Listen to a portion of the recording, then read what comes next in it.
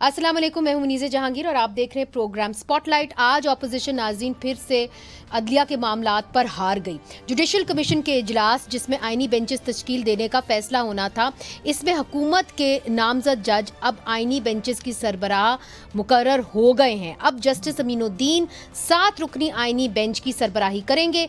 Bench में justice Aminuddin के अलावा justice Jamal Mandokhail, justice Ayesha Malik, justice Mohammad Ali Mazhar, justice Azhar Hussain Rizvi, justice justice Naeem Akhtar Afghan और justice Musarrat Hilali शामिल होंगे। इस फैसले के बाद अब justice Jamal Mandokhail judicial commission के रुकन भी बन गए हैं और इम्कान है कि नेशनल असम्बली से पास करदा practice and procedure bill senate की मंजूरी के बाद कानून बन गया तो जस्टिस अमीनुद्दीन मुकदमात मुकर करने वाली कमेटी के रुकन भी बन जाएँगे। दूसरी तरफ़ आईनी तरमीम के खिलाफ दरख्वास्तों की समात के लिए सुप्रीम कोर्ट के तीन सीनियर जजेस में इख्तलाफात भी सामने सामने आ गए हैं। जस्टिस मंसूर अली शाह और जस्टिस मुनीब अख्तर ने चीफ जस्टिस याया फरीदी को खत लिखकर छब्बीसवीं तरमीम का केस फुल कोर्ट में लगाने का कहा है। खत लिखने वाले जजेस ने कहा कि उन्होंने चीफ जस्टिस को प्रैक्टिस एंड प्रोसीजर कमेटी का हंगामी इजलास जुमेरात 31 अक्टूबर को तलब करने का कहा था, लेकिन इजलास तलब ना होने पर दोनों सीनियर जजेस ने प्रैक्टिस एंड प्रोसीजर एक्ट के तहत खुद इजलास बुलाकर आइनी तरमीम के खिलाफ दरख्वास्तें चार नवंबर के लिए फुल कोर्ट के सामने सुनवाई सुनवाई के लिए जो है वो लगा दी हैं। लेकिन रजिस्ट्रार ने इस हवाले से कोई कॉज लिस्ट ही जारी ही नहीं की। दोनों जजेस यानी जस्टिस मंसूर अली शाह और जस्टिस मुनीब अख्तर ने ख़त में लिखा कि चीफ जस्टिस याया अफरीदी को कमेटी इजलास में किए गए फैसले पर अमल दरामद करते हुए कॉज लिस्ट जारी करनी चाहिए। इस हफ़्ते आइनी तरमीम के खिलाफ दरख्वास्तें फुल कोर्ट के सामने लगाई जाएँगी। ये उन्होंने कहा, इस खत के बाद एक दफ़ा फिर छब्बीसवीं तरमीम जिसमें अदलिया का ढांचा बदल गया है। उस पर जजेस के अख्तलाफात मंजर आम पर आ गए हैं। क्या आइनी बेंचेस पर इतफाक़ ना होने से आने वाले दिनों में जजेस में तकसीम मज़ीद बढ़ जाएगी? और क्या आइनी बेंचेस असल में एक मतवाजी सुप्रीम कोर्ट है। इस हवाले से बात करने के लिए हमारे साथ मौजूद है बैरिस्टर अकील मलिक मुशीर वजारत कानून आपका बहुत शुक्रिया, शुक्रिया। आपने हमें ज्वाइन किया आपका ताल्लुक पाकिस्तान मुस्लिम लीग नून से है। शुएब शाइन हमें ज्वाइन करें सीनियर वकील हैं रहनुमा हैं तहरीक इंसाफ के और आबिद साकी हमें ज्वाइन करें सीनियर वकील हैं और सबक चेयरमैन हैं पाकिस्तान बार काउंसिल के। जुडिशल कमीशन के अंदर जो पाकिस्तान बार काउंसिल की नुमाइंदगी कर रहे हैं, वो है जनाब अख्तर हुसैन साहब, एक बहुत ही सीनियर वकील हैं। हमारे साथ इस वक्त मौजूद हैं। अगर आप सबकी इजाज़त हो तो उनसे आज पूछ लेते हैं कि अख्तर हुसैन साहब, आप वाहिद नुमाइंदे थे पाकिस्तान बार काउंसिल के। आज जुडिशल कमीशन ने बड़ा अहम फैसला किया है कि आइनी बेंच की सरबराही जो है, वो जस्टिस अमीनुद्दीन करेंगे। कोई और नाम भी सजेस्ट हुआ था जी? शिबली फराज साहब के हवाले से कहा जा रहा है कि उन्होंने कहा था कि चीफ जस्टिस ही इसको हेड करें यानी याया फरीदी साहब और पाँच जो सीनियर मोस्ट जजेस हैं वो इसको आ, इसके साथ हों। नहीं देखिए शिबली फराज साहब ने भी ये बात की थी लेकिन शिबली फराज साहब से पहले चीफ जस्टिस साहब ने खुद बात की थी। और उनका ख्याल ये था कि उनका और दूसरे जो जजेस हैं सीनियर उदीप अख्तर साहब और मंसूर शाह साहब तो उनका ख्याल ये था कि जजेस का हमारा पॉइंट ऑफ़ व्यू ये है कि कॉन्स्टिट्यूशनल बेंच तमाम 16 जजेस टोटल जो है सुप्रीम कोर्ट के, उनको कॉन्स्टिट्यूशन बेंच का मेंबर होना चाहिए। उनको नॉमिनेट करना चाहिए एज ए जजेस ऑफ़ द कॉन्स्टिट्यूशनल बेंचेस और हेड उनको करे chief justice of Pakistan Shibli Faraz साहब और उमर अयूब साहब ने भी उनके व्यू को सपोर्ट किया कि वो समझते हैं कि भाई सारे जजेस को होना चाहिए।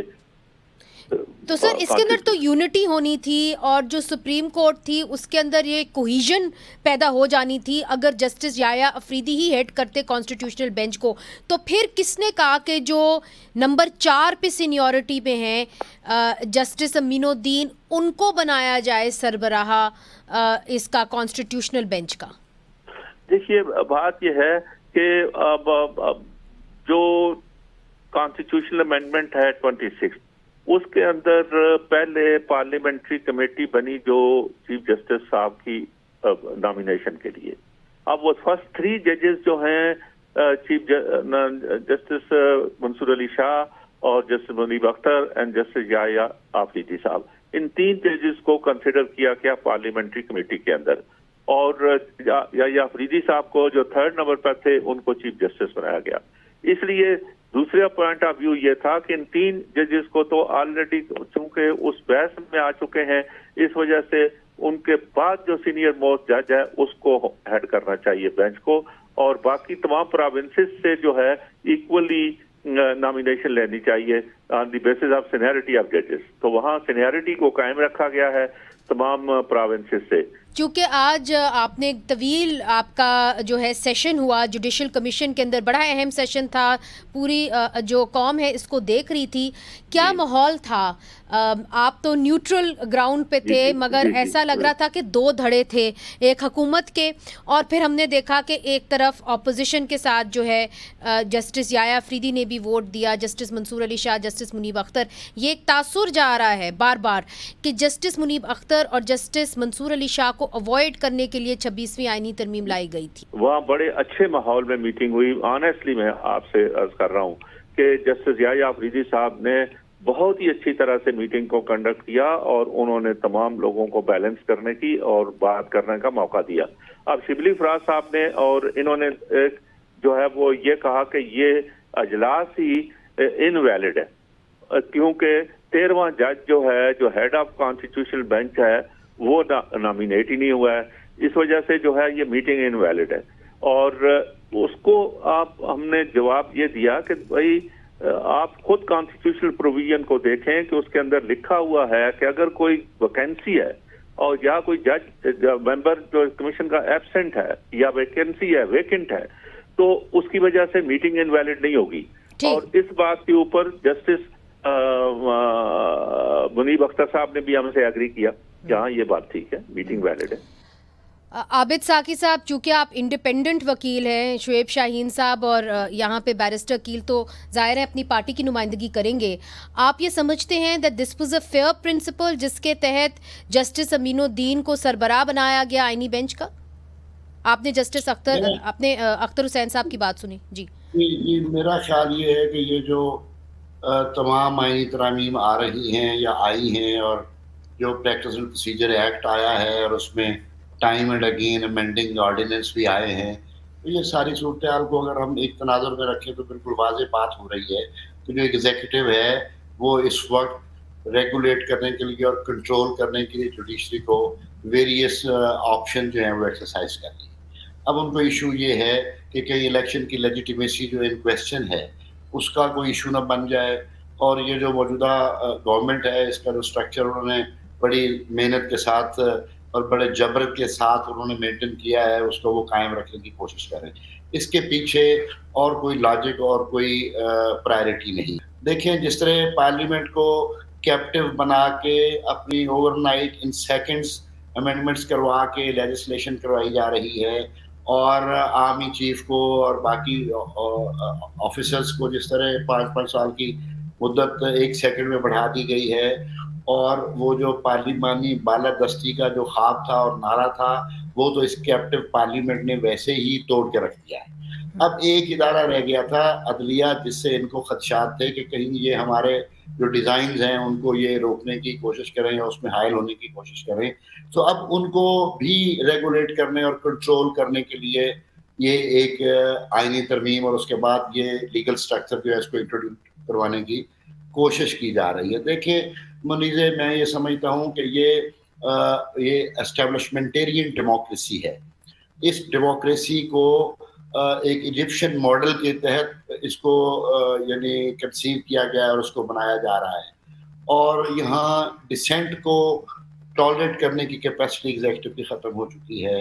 लोगों के राइट्स ट्रैम्पल किए जा रहे हैं और कोई सुनवाई नहीं कोई दाद रसी नहीं कोई पुरसान हाल नहीं और कोई दरवाज़ा नहीं जहाँ उसको कोई अपनी नालिश और अपनी तकलीफ़ लेके जाके तो उसके सदबाब और उसके तदारुक के लिए कोई शख्स कहीं चला जाए। बैरिस्टर कील साहब जो आबिद साकी साहब बात कर रहे हैं कि उम्मीद जो है वो कम होती जा रही है और शायद उनका इशारा जो आपने सेवन एटी ए में तरमीम की एक बिल भी आपने इंट्रोड्यूस कराया है जिसके अंदर आपने ये अख्तियार दे दिया है एजेंसीज को कि वो किसी को भी उठा सकती हैं और आप अदालत में उनको नहीं ला सकते। बिसमिल्लाम मनीजी साहब, बहुत बहुत शुक्रिया। देखिए, मैं थोड़ा सा मुझे मुस्कराहट साकी साहब की बात पे आ रही थी। वो ये थी कि किसके राइट्स के ऊपर हम ट्रैम्पल अपॉन कर रहे हैं? मतलब ऑब्वियसली एग्जीक्यूटिव की इतनी बात की जा रही है कि शायद एग्जीक्यूटिव जो है, बहुत ज़्यादा रेगुलेट कर रही है। रेगुलेट की बात नहीं मतलब आप क्यों नहीं बात करते तमाम तर उन जजेस की जो माजत के साथ जजेस ए पोलिटिकल होते हैं? लेकिन यहाँ पे तो हमने देखा कि जजेस ने मखसूस जो एक पॉलिटिकल माइंड सेट था उसको सपोर्ट किया। हम्म। उसकी सपोर्ट में जो है फैसले दिए। कोई कानून कोई आइन नहीं देखा। मतलब मैं खुद एक तालब इम हूँ कानून का। हम सारे तालब इल्म हैं। We learn and obviously keep on learning throughout our careers लेकिन यहाँ पे तो ऐसी मंतक भी देखी गई जिसमें ना किसी आइन और कानून में कोई ऐसी शुनीद थी ना कोई ऐसी कोई ऐसा रेफरेंस था। यहाँ पे आपने सीट्स के जी मैं उस हवाले से बिल्कुल absolutely not just the reserve seats but generally speaking एक देखें जुडिशल एक्टिविज्म में और जुडिशल ओवर रीच में बहुत फ़र्क है। और जुडिशल इंडिपेंडेंस में और जुडिशल ओवर रीच या जुडिशल एक्टिविज्म में बहुत फ़र्क है। ये तमाम तर चीज़ों को इस पहराए से भी देखना चाहिए। आइन और कानून के मुताबिक अगर तमाम चीज़ें हों तो मैं समझता हूँ कि ये तमाम ट्राइकॉटमी ऑफ़ पावर्स के लिए ये सेपरेशन ऑफ़ पावर्स का जो कॉन्सेप्ट है उसको भी इंश्योर करता है। यहाँ पे आपने एंटी टेररिज्म एक्ट की बात की रिसेंटली जो हमने अमेंडमेंट उसमें इंट्रोड्यूस करवाई वो इसलिए करवाई। और मैं ये अगेन आपको कह दूँ कि वो किसी के राइट्स के ऊपर ट्रैम्पल अपॉन नहीं कर रहा। अगर आप अदालत में उस गरीब को पेश नहीं कर रहे। उसमें उसके साथ क्या हो रहा है? सलमान अकरम राजा साहब कहते हैं उसका हाल वही होगा नहीं जो इंतज़ार पंचोता का हुआ। नहीं उसमें लिखा हुआ है कि that is obviously subject to and due consideration is actually being provided uh, और उसमें दी जाएगी कंसिड्रेशन कि आर्टिकल 10 की जो वायलेशन है वो ना हो। आर्टिकल टेन की जो प्रोविजंस हैं तमाम तर प्रोटेक्टिव प्रोविजंस उनको इंश्योर किया जा रहा है कि किसी का ड्यू प्रोसेस जो है वो वायलेट ना हो इसका मतलब है अदालत में पेश कर सकते हैं। देखिए बिल्कुल ऑब्वियसली अदालत में provided that detention of such person including JIT भी उसमें है देखिए उसमें after after 3 months it can obviously but of course provision of article 10 so provided that the detention of such person including detention for further period after 3 months. जी तीन महीने के बाद। लेकिन उसकी वायलेशन तो नहीं है ना आर्टिकल टेन की ड्यू प्रोसेस तो है। और ये लीगल महीने में वो गरीब को तो नहीं है कोई अदालत में पेश कर सकते हैं। देखें अब मैं बिल्कुल ऑब्वियसली आई एम श्योर कि इफ़ दे एक्चुअली जी। वो कह रहे हैं कि 24 घंटे के अंदर हेबियस कॉपस के अंदर तो 24 घंटे के अंदर आपने बंदे को पेश करना है एक लीगल कस्टडी है। एक लीगल कस्टडी है। उसको कोई डिनाई नहीं कर रहा कि प्रोटेक्टिव हाँ। जी जी जी जी। मैं हाँ। उसी पे ही आपको थोड़ा सा वाजे कर दूँ और उसमें जेआईटी है।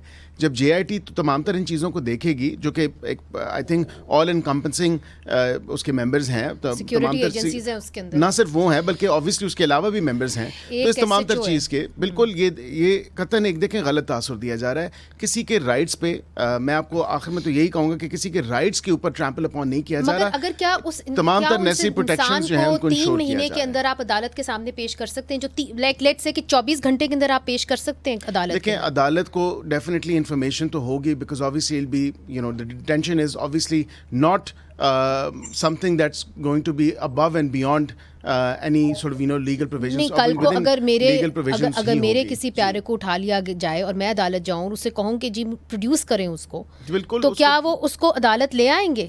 देखें आई एम श्योर कि उसको प्रोड्यूस तो उनको करना पड़ेगा at least you know once they've detained and generally criminal law के तो प्रिंसिपल्स यही हैं। uh, लेकिन आप प्रोड्यूस करें तो प्रोड्यूस का मतलब ये नहीं है this is legal custody and legal detention obviously with respect to जब 2014 और से लेके 16 तक हमने इंट्रोड्यूस ये कराया था विद सनसेट क्लॉज ये टेररिज्म की uh, जो है उसको कर्ब करने के लिए उसको रिड्यूस right. करने let, के लिए उसकी रोकथाम के लिए इंट्रोड्यूस करवाया गया क्योंकि रिसेंटली इतना सर्ज हुआ है टेररिस्ट मगर आपके पास तो है ना ये शुएब शाहीन साहब बैठे हुए हैं। मगर उनकी ही हकूमत ने इमरान खान ने ही जो है action in aid of civil power अपने ही सूबे में लगा दिया। हम्म। यानी कि वारंट के बगैर आप किसी को भी उठा सकते हैं और अदालत में पेश करने की कोई ज़रूरत नहीं। तो सर आपकी भी हुकूमत ने यही कुछ किया आपकी भी पार्टी ने यही कुछ किया मगर अब ये ये जो कानून लेके आए हैं आपने इसको पढ़ा है वो कहते हैं कि जी आर्टिकल टेन का हवाला दिया गया है। आप इसको कैसे पढ़ रहे हैं? देखें हवाला दे देने से इसका ये मतलब नहीं है कि आपने उसको जो तीन जो ओरिजिनल लॉ है आप उसको देख लें। यानी लीगल मिसिंग पर्सन में शामिल कर देंगे आप। लोगों को उठाएँगे तीन महीने के लिए कोई किसी से पूछ नहीं सकता। अच्छा। अगले तीन महीने के लिए जब चाहेंगे उसको एक्सटेंशन कर देंगे सिर्फ़ शक की बुनियाद पर। यहाँ शकूक शबात कैसे पैदा होते हैं? मैं आपके सामने बैठा हूँ नौ दहशत गर्दी के पर्चे मेरे खिलाफ है। हाँ। पाकिस्तान के किस आप यहाँ इस्लामाबाद की तरह मुकदमा उठा लें उसकी तरह रेशो उठा लें 99.9 परसेंट तमाम दहशतगर्दी के बच्चे हमारे पीटीआई के वर्कर्स के खिलाफ है हम्म। हमारे खिलाफ है कि हम दहशत गर्द हो गए हैं क्योंकि हमने जलसा कर लिया या हमने कुछ जुलूस निकाल लिया हम्म। या। हमने प्रोटेस्ट कर लिया या हमने रिलीज़ इमरान खान की रैली निकाल ली हम दहशतगर्द हो गए और बाकी क्रिमिनल सारे खुलेआम करते हैं ये इनकी बेईमानी और बदमाशी है। सीधी सीधी बात है इस मुल्क के 25 करोड़ आवाम को ज़िंदा रहने का हक नहीं देना चाहते। ये कठपुतली जो ऊपर बैठे हुए हैं, जो हारे हुए हैं, फॉर्म 47 की पैदावार हैं, ये पार्लिमान तो है ही नहीं। इनके पास क्या अख्तियार और इकतदार है? एस्टैब्लिशमेंट वालों का वो पुराने जमाने में वो अली अहमद कुर्द कहा करता था, एक ब्रिगेडियर पूरी पार्लियामेंट में भारी है अब तो एक इनका एक कांस्टेबल पूरे पार्लियामेंट में भारी है। वो बंदूक को उठाता है, जाकर पेश करता है, उनके ज़रिए ट्वेंटी सिक्स अमेंडमेंट करा देता है। और उसके अलावा जो कुछ हो रहा है हम इसको क्या कानूनी नहीं मगर अब आपका। पाकिस्तान तरीके इंसाफ की डिमांड क्या होगी जो छब्बीसवीं आईनी तरमीम है वो तो ऐसा लग रहा है कि आईनी बेंच ही सुनेगा आप क्या चाहते हैं कि फुल कोर्ट सुप्रीम कोर्ट का सुने देखें अगर आपने एग्जेक्टिव के ज़रिए इंडिपेंडेंस ऑफ़ जुडिशरी तबाह कर दी। अगर आपने एग्जेक्टिव के ज़रिए अदलिया को कंट्रोल करना है अगर आपने अदलिया को आज़ाद नहीं रहने देना हाँ। तो वाहिद साकी साहब ने जैसे कह रहे थे ये वाहिद फोरम इंसाफ का निज़ाम रह गया है अगर आपने उसके ऊपर भी हमलावर हो जाना है। अच्छा फिर भी ये बेईमानी के हज़ार तरीके हैं कि जनाब वो पहले तीन जजेस चूँकि चीफ जस्टिस के लिए कंसीडर हो गए लिहाजा टू एंड थ्री को हम कंसीडर ही नहीं करेंगे। हम्म। अच्छा जी आप अमीनुद्दीन साहब से शुरू करें फिर बीच में से जी हम सीनियरिटी के प्रिंसिपल को फॉलो करेंगे। फिर यूँ फॉलो करेंगे कि बलूचिस्तान के दो जज हैं उन सब दोनों को शामिल कर लेंगे। फिर अगर सीनियरिटी को फॉलो करना है तो फिर इस सीनियरिटी के प्रिंसिपल के मुताबिक फिर अतर अल्लाह का नाम भी आता है। छब्बीसवीं आईनी तरमीम के हवाले से जवाब। ज़रूर दीजिएगा क्योंकि लोग जानना चाह रहे हैं कि आपका मौकफ पीटीआई का क्या है कि छब्बीसवीं आईनी तरमीम अब का केस अब कहाँ सुना जाएगा? पिटिशन तो दायर हो गई है। तमाम जजेस सुप्रीम कोर्ट के वो सुने इसलिए कि यही रावलपिंडी डिस्ट्रिक्ट कोर्ट के केस में ये तय हुआ था ये प्रिंसिपल कि अच्छा, फुल कोर्ट बैठेगी और उसके अलावा कि कोई भी आईनी तरमीम जो कोई आईनी तरमीम कहना भी जुर्म है ये आर्मी तरमीम है इस तरह की तरमीम जिस अंदाज में की गई है बंदे उठाओ किसी के बेटा उठाओ बच्ची उठाओ लोगों को मारो तशद करो या पैसे दो उनके ज़रिए तरमीम कर लो। और इस तरमीम के अंदर ये जो बेसिक स्ट्रक्चर या basic feature of the constitution के खिलाफ है सारे जजेस बैठे उसको सुने पहले इसकी वैलिडिटी को देखें चेक करें। उसके बाद जो इसका है कि कॉन्स्टिट्यूशनल बेंचेस रहने हैं नहीं रहने हैं और किस तरीके से आगे proceed अच्छा मगर ये ये ये आप जो कह रहे हैं शुएब शाहीन साहब ये मुमकिन भी होगा कि नहीं होगा? क्योंकि it seems very clear now कि आईनी बेंच एक तश्कील दे दिया गया है और गवर्नमेंट का मौकफ कम अज़ कम यह है कि छब्बीसवीं आइनी तरमीम की अगर कोई पटिशन आती है तो वो फिर आइनी बेंच ही सुनेगा। इसके ऊपर आबिद साकी साहब क्या कहेंगे? वक्फे के बाद उनसे पूछते हैं।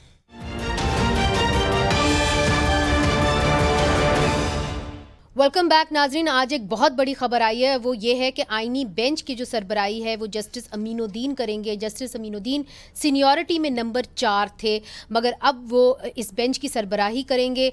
अब दो बड़े अहम केसेस जो हैं, वो सुप्रीम कोर्ट में आने हैं। एक है छब्बीसवीं आईनी तरमीम को चैलेंज कर दिया गया है। मुख्तलिफ़ लोगों ने इसको चैलेंज किया है। उसकी सुनवाई कहाँ होगी? फिर रिज़र्व केसेस जो रिज़र्व सीट्स हैं पीटीआई के हवाले से, उसकी भी जो है रिव्यू जुरिस्डिक्शन में वो वो भी केस लगना है। वो कहाँ लगेगा? ये एक बहुत अहम सवाल है। आबिद साकी साहब, आपका अपना क्या ख्याल है कि जो छब्बीसवीं आइनी तरमीम है, उसकी पटिशन अब कहाँ सुननी चाहिए? ऑब्वियसली उन्होंने तो इसीलिए बनाया बेंच के वो ये आईनी तरमीम जो है, वो आईनी बेंच सुने। लेकिन जो दोस्तों की राय है कुछ जजिस की ओपिनियन है कि इसके लिए क्या इशू है अगर फुल कोर्ट बना दी जाए और सारे जजेस बैठ के उसको सुन लें। और उनको कॉन्स्टिट्यूशनल बेंच कंसिडर किया जाए for the purpose of this this this hearing अगर ये नहीं होता तो बाकी मुझे अभी चीज़ें प्रडिक्टेबल नहीं है क्योंकि ये जो इन्होंने इंट्रोड्यूस करवाया है सिस्टम अभी तो इसकी फंक्शनैलिटी और वर्केबिलिटी का भी क्वेश्चन आएगा ये क्यों कह रहे हैं आप? ये मीनिंगफुली ये फंक्शनल भी फंक्शनल भी फंक्शनैलिटी भी इसकी जो है वो पॉसिबल है या नहीं है ये आप क्यों कह रहे हैं? ये एक्सप्लेन करें आप लोगों को कि ये आप क्यों कह रहे हैं? इसको explain करता हूँ अभी इसमें वक्त लगेगा अभी इसमें वक्त लगेगा कि ये जो आइन आईनी तरमीम बनाई गई है इसके तहत जो ढांचा बनाया गया है उस ढांचे को अपने पूरी डिलीवरी मैकेनिज्म जो बनेगा उसके साथ अभी तो फिर प्रोविंशियल रेजोल्यूशन आएँगे अभी उनकी भी नॉमिनेशन होगी फिर ये केसेस जो हैं कौन कौन से बेंच को जाएँगे और किस तरह हम तो वकील हैं हम तो हर हर केस में वो चाहे लैंड रेवेन्यू का केस हो चाहे वो कस्टम का इंटेलिजेंस का कुछ भी केस हो तो हम उसमें दो चार छह आर्टिकल जो है फंडामेंटल राइट्स के हवाले से उसमें डाल देते हैं। और कुछ भी ना हो तो आर्टिकल टेन है तो हर दुनिया के प्रोसीडिंग्स की ड्यू प्रोसेस को और फेयरनेस को समझ कवर करता है और ठीक है। वो वो that would be the part of every petition right और वो सारी पिटीशन अगर बेंचेस में जाती हैं तो फिर 90 परसेंट तो यहाँ पिटीशन जो है वो कॉन्स्टिट्यूशनल पिटीशन होती हैं हर कोर्ट में। और उसके लिए फिर क्या सिस्टम बनेगा कितने बेंच बनेंगे बाकी वो काम कैसे करेंगे ये अभी हल तलब सवाल है। लेकिन एक बात में जो है ना ये एडिटल एक्ट के हवाले से जो अमेंडमेंट आई है उसमें मेरा बड़ा क्लियर मौकफ है उस पर मैं ज़रूर बात करूँगा कि ये जो आर्टिकल टेन आइन का है उसके वो बरह रास्त मुतसादम है। आप 24 घंटे के अंदर अंदर जो भी बंदा अरेस्ट करेंगे, उसको नियरेस्ट मजिस्ट्रेट के पास आपने पेश करना है। हाँ उसमें एक एक्सेप्शन है। एक्सेप्शन है प्रिवेंटिव डिटेंशन की, कि अगर किसी बंदे को आप प्रिवेंटिव डिटेंशन में रखेंगे तो उसके लिए थर्टी डेज़ और फिर एक्सटेंड हो सकता है, वो मैक्सिमम पीरियड 90 डेज़ से बियॉन्ड नहीं जा सकता। और फिर इसके लिए रिव्यू बोर्ड है, जिसमें हाईकोर्ट के जजेस बैठते हैं, वगैरह वगैरह। लेकिन यहाँ सफ़र ये है कि आप अगर किसी शख्स को एंटी टेररिज्म एक्ट के तहत अरेस्ट कर लेते हैं, जी। तो फिर नब्बे दिन तक आप उसके बारे में पूछ कुछ नहीं कर सकते। आप उसका पता नहीं कर सकते ना उसकी प्रोडक्शन का कोई ऑर्डर कर सकते हैं और वो जहाँ है जिस हाल में वहाँ रहेगा। अच्छा ठीक। अब ये कहना कि ये in line with the provision of article ten है मैं समझता हूँ ये खुदा माफ़ करे ये बहुत मिसप्लेस्ड अंडरस्टैंडिंग है। ऑल राइट प्रिवेंटिव डिटेंशन की हद तक ये बात है कि उन पे आर्टिकल 10 की जो क्लास uh, 2 है वो अप्लाई नहीं करेगी।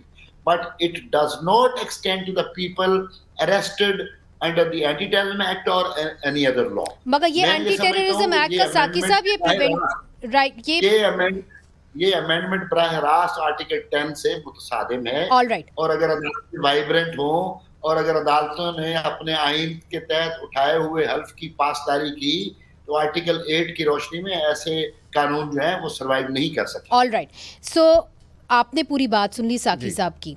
वो ये कहते हैं कि आपने जो ये प्रोविज़न दी है कि जी आर्टिकल टेन है जिसका मतलब है कि मुझे हक होना चाहिए फेयर ट्रायल का। जब आप किसी को उठाते हैं और आप एक कैंगरू कोर्ट के अंदर उसका ट्रायल या आप उसको प्रिवेंटिव डिटेंशन पे रखते हैं तो वो तो वायलेट हो गया।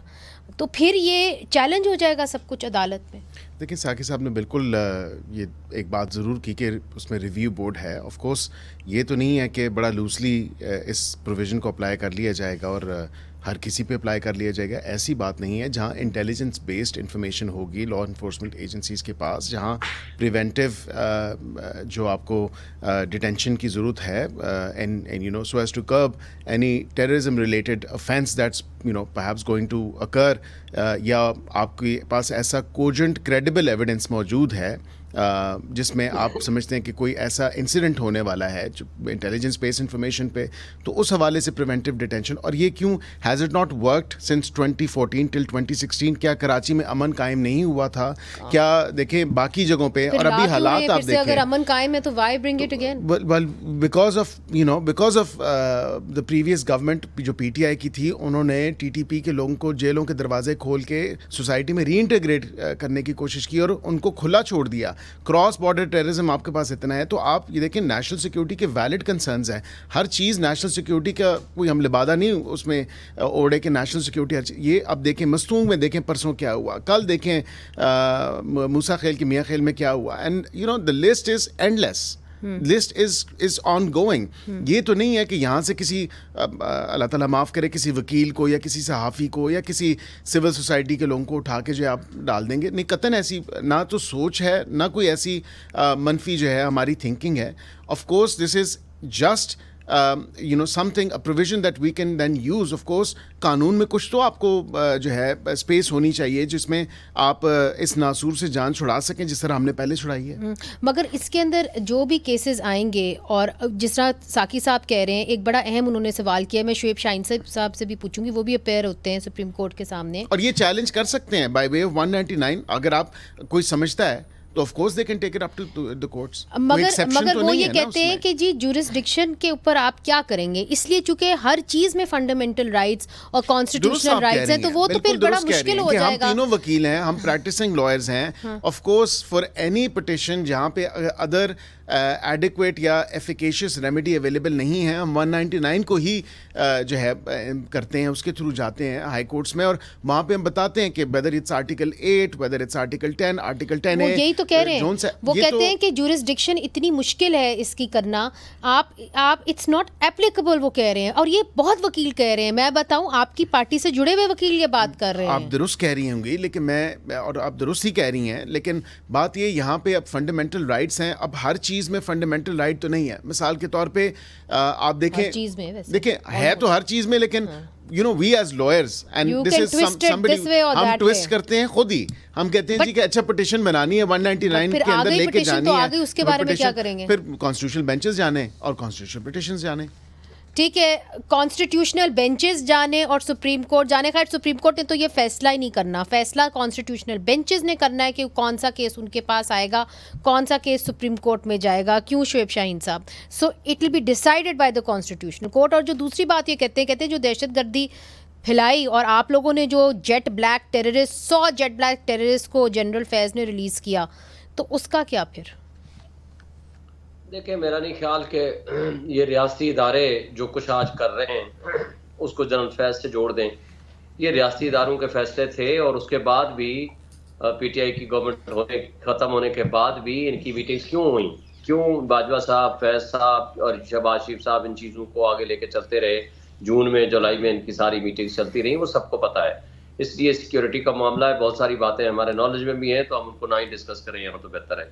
लेकिन कहने का मतलब ये है कि ये आज इनकी नीयतें अगर दुरुस्त हों तो ये दहशत गर्दी भी कंट्रोल हो सकती है आइन और कानून की बालादस्ती भी कायम रह सकती है।